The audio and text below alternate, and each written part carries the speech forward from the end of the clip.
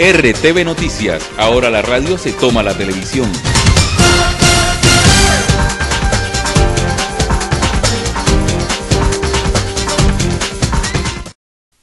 8 de la mañana, 30 minutos. Eh, don Pedro Valdés, ¿qué pasó finalmente, hombre, con, con, el tema de la vía a Medellín?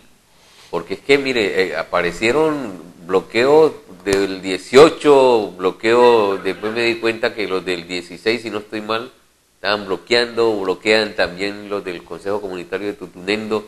Eso se volvió, mejor dicho, un caos. Sí, mire, siempre habíamos tocado. Entonces, situación que no habíamos tocado, Luis fue lo que tuvo que ver con Tutunendo, que sacaron su comunicado también, sí. donde estaban pidiendo igualdad de condiciones. Es decir, si pasan apenas eh, eh, comida y víveres para los indígenas y ellos no dejan pasar nada de Medellín para acá, entonces le pidieron a la policía que bloqueara también el paso porque iban a impedir el paso también de Tutunendo hacia allá. Así Cada lo hizo el Consejo su, parcelita, su parcelita. Exactamente, así es, una vía que es de todos y de nadie. Así lo hizo saber el Consejo Comunitario, eh, Luis Jafé.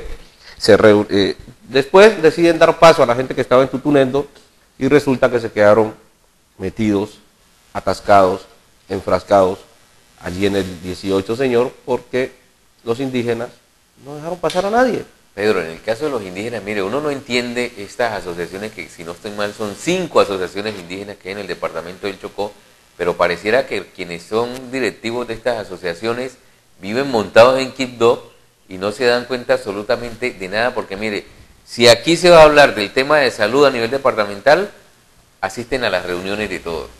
Si se va a hablar de deporte, los mismos que van a salud van a deporte. Si van a hablar de infraestructura, son los mismos que van a esas reuniones y pareciera que no le informaran, no le contaran, no le dijeran nada a quienes están sobre la vía o quienes son de, afiliados a estas asociaciones que como le digo son cinco, porque cada comunidad indígena, el día que le da la gana, así lo digo escuetamente, el día que le da la gana, cierra la vía. Sí, señor, a mí me lo Y uno llama a, los, a, los, a, los, a los directivos acá y no se dan cuenta de absolutamente nada o empiezan a decir una mentira y entonces, como ayer, eh, que fueron los del 18, los del 16 también les da por decir que van a cerrar y cierran y entonces estas asociaciones están para qué?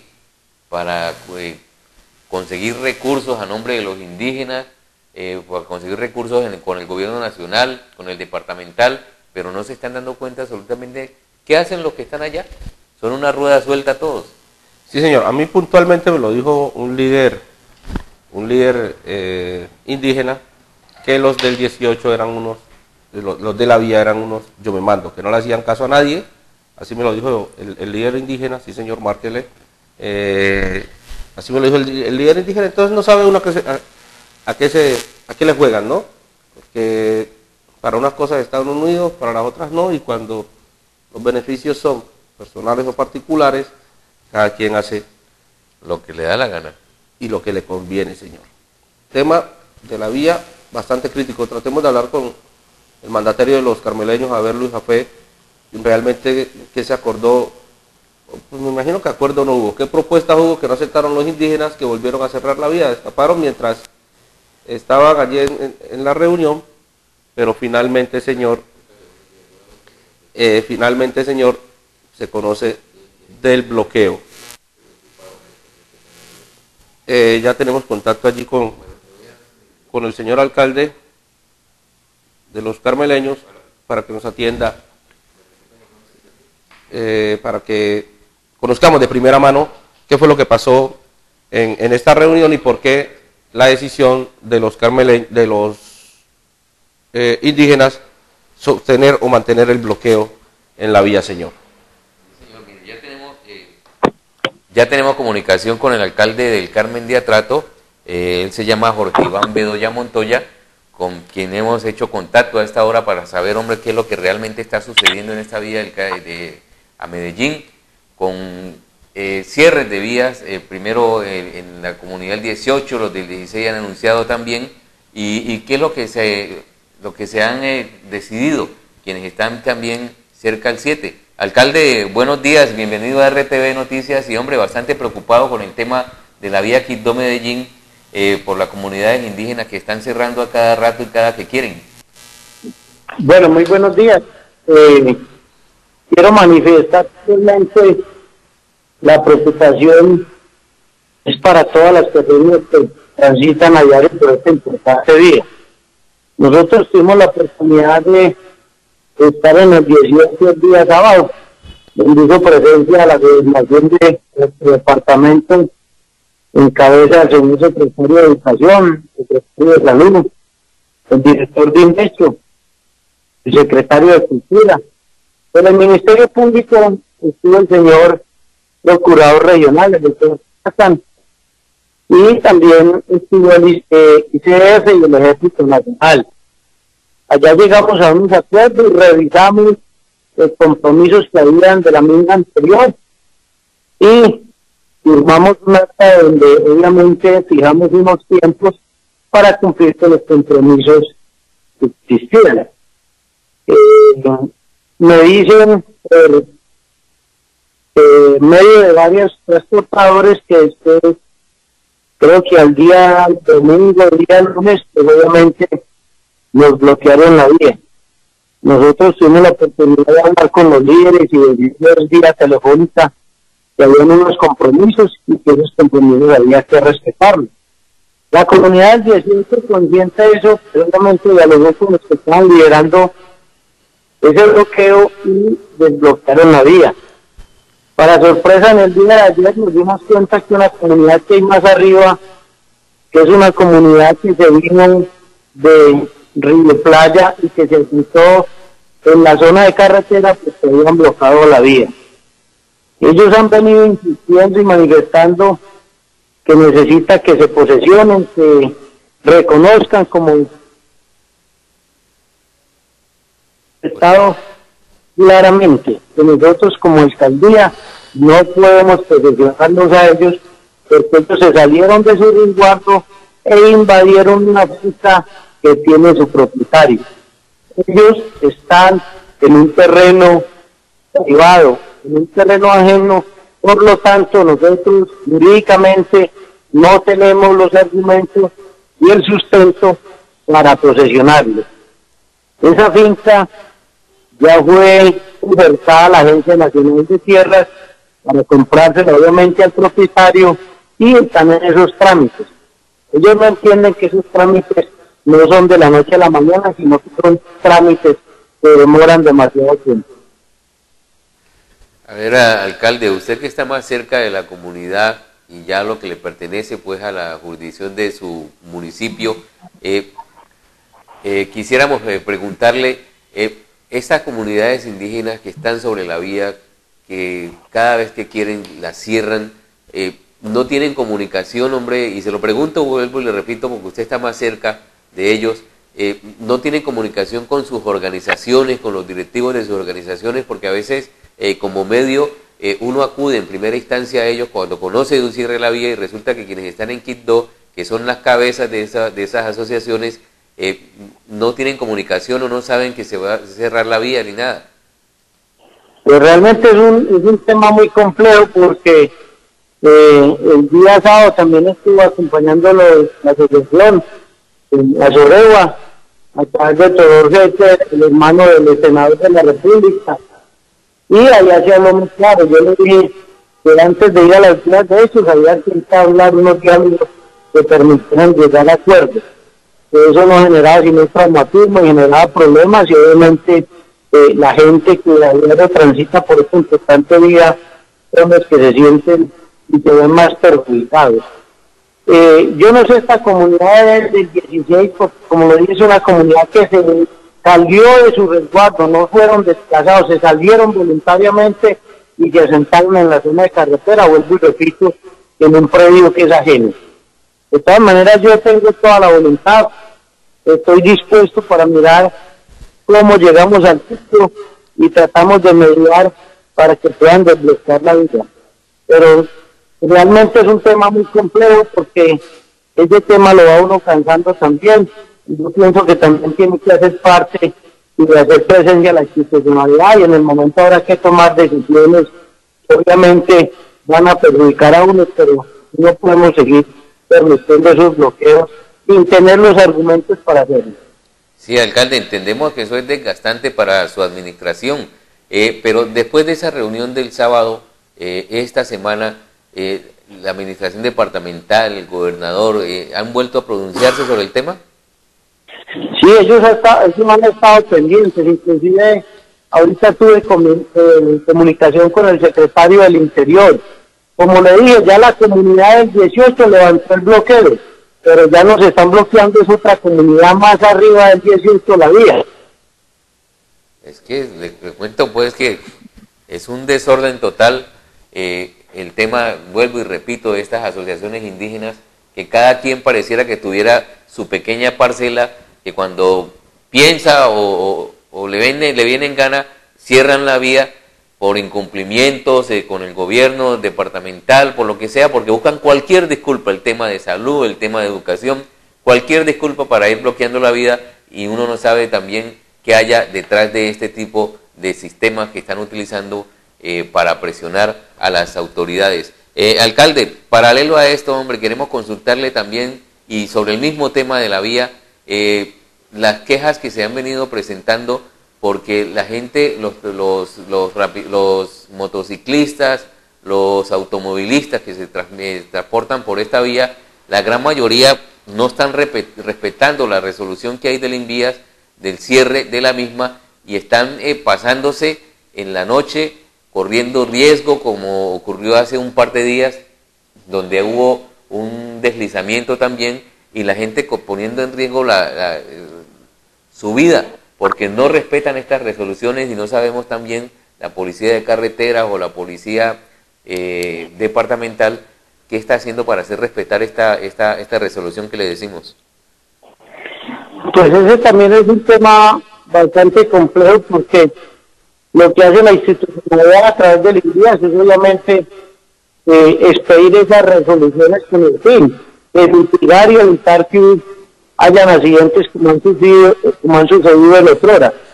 Pero es muy complejo, muy difícil eh, y prácticamente eh, decirle a los motociclistas, a los, conductores por favor respeten la resolución, porque han habido varios inconvenientes, no solamente con la fuerza pública, sino también con, la institucionalidad, pero obviamente el día de mañana va a haber una reunión en Quito donde va a estar presente el señor presidente y todos esos temas me parece que son importantes que se toquen para evitar accidentes a futuro.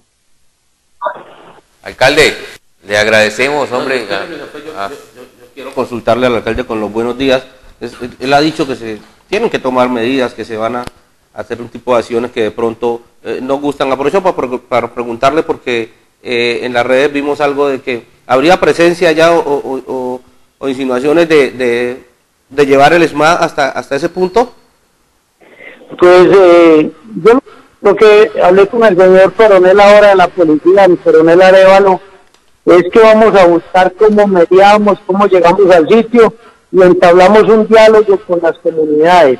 Nosotros, yo lo que hace que estoy en la alcaldía, he tenido por ahí seis, siete bloqueos y nunca hemos utilizado la fuerza, siempre hemos estado y hemos buscado acercamientos. Obviamente aquí también hay que buscar acercamientos con las comunidades y obviamente si no se llega a un acuerdo, pues habrá que buscar la manera de que esa vía nacional pues esté habilitada para que las personas puedan transitar libremente.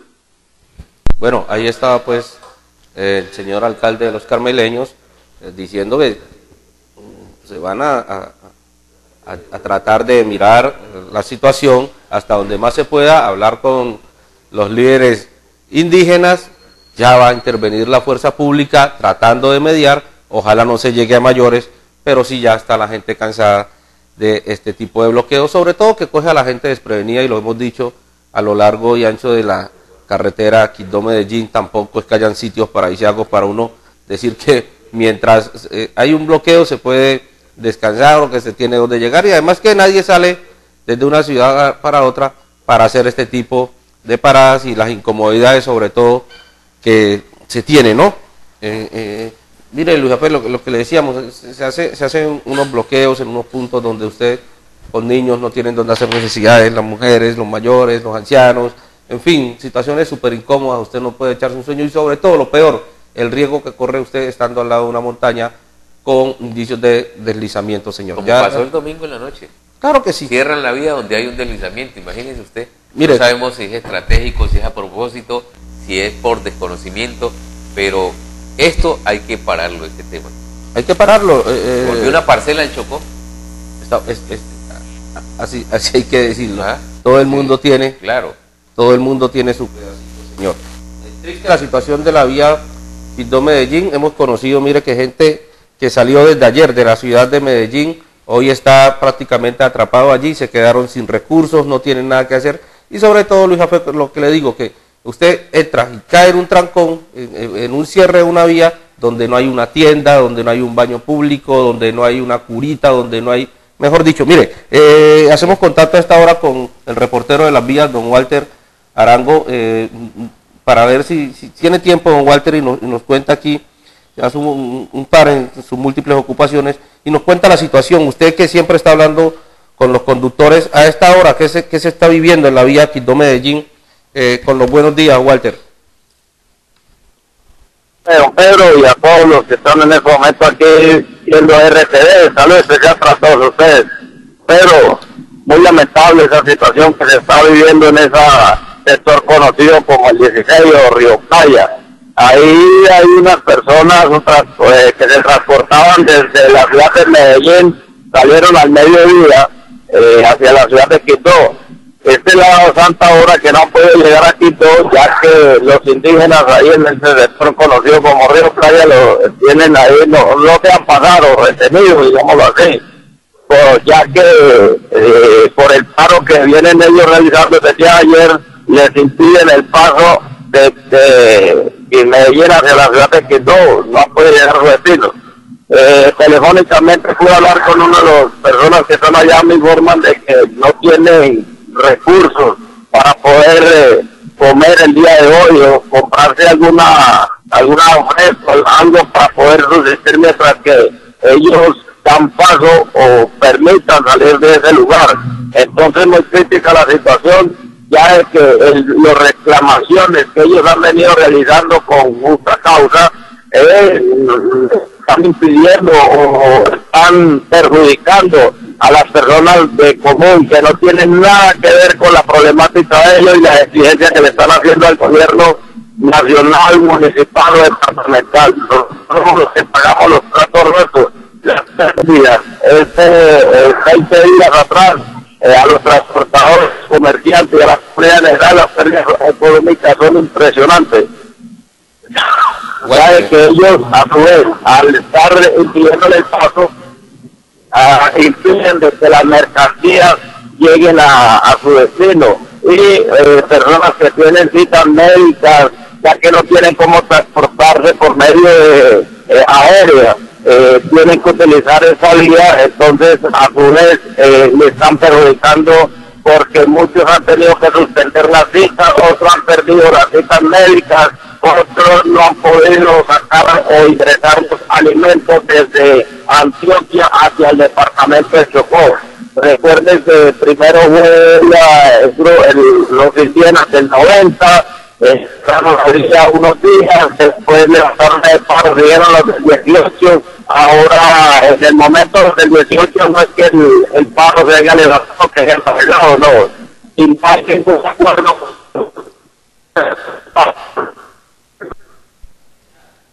se nos, está, se nos fue la señal, eh, eh, está en carretera, ¿no? El amigo Walter Arango.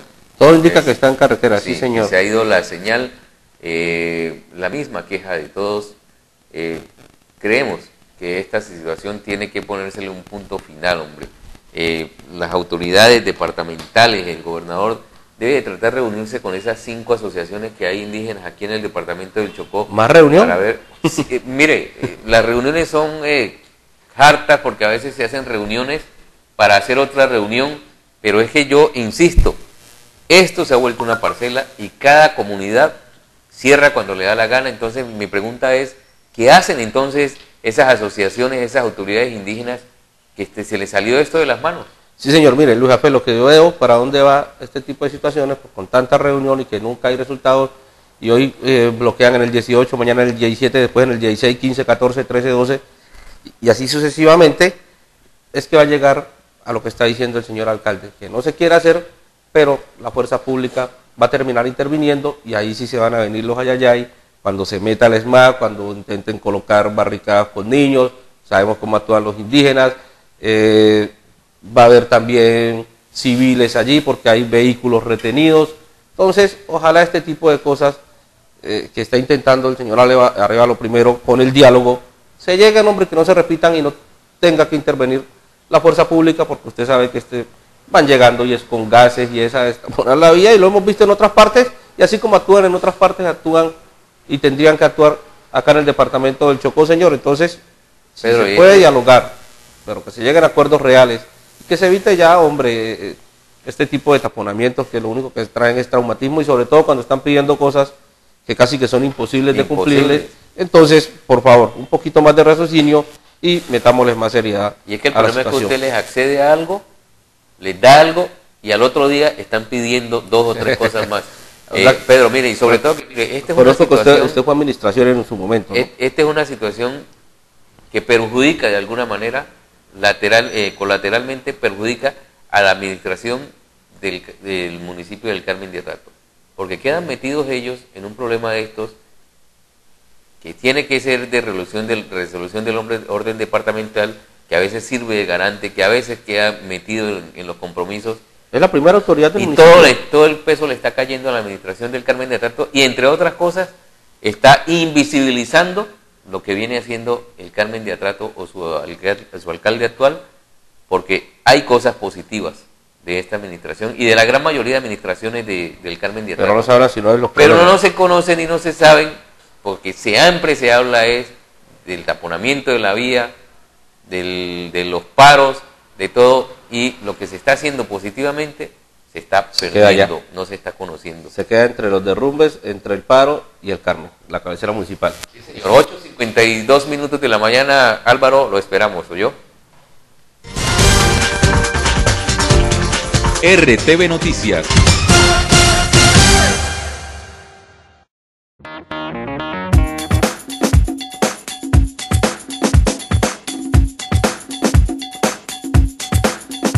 Ortopédicos del Pacífico, un grupo de médicos con todo el conocimiento y la especialización científica en el tratamiento de los huesos, articulaciones, tendones, ligamentos y músculos del cuerpo Julio César Kutenroikovich, médico fisiatra. Harold Hoyos Urrutia, especialista en reemplazo articular de cadera y de rodilla. Roger Alead Madrid, ortopedista. Y Narcilo Arborea Hurtado, especialista en ortopedia de columna.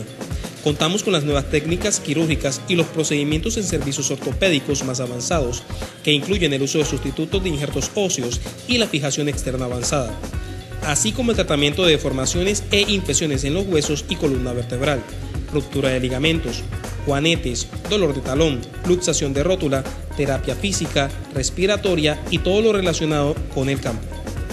Ortopédicos del Pacífico, carrera cuarta número 2912, teléfono 320-672-9448.